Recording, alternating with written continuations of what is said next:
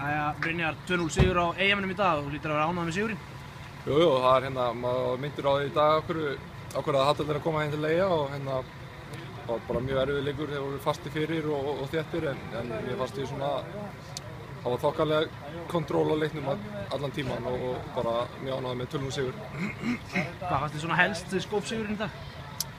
Það var bara við vorum mjög vel skipulægir, höldum skipulæginu og, og hérna náðum að spila boltarum þokkalega svona inn á milli og, og nýttum þessi færi sem að við fengum. Hefum getað, ég hef bara getað skórað fleiri. Hvernig var tilfélningi svona að koma á Hástegsveld?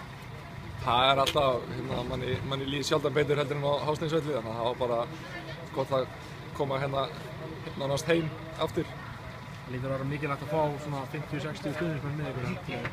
Jú, þetta er náttúrulega alveg frábært að hafa þennan hóp á bakvið liðið og hérna gefur okkur gríðarlega, mikið inn á vellinum að, hafa hann að öskandir á trallandi allan leikin. Takk.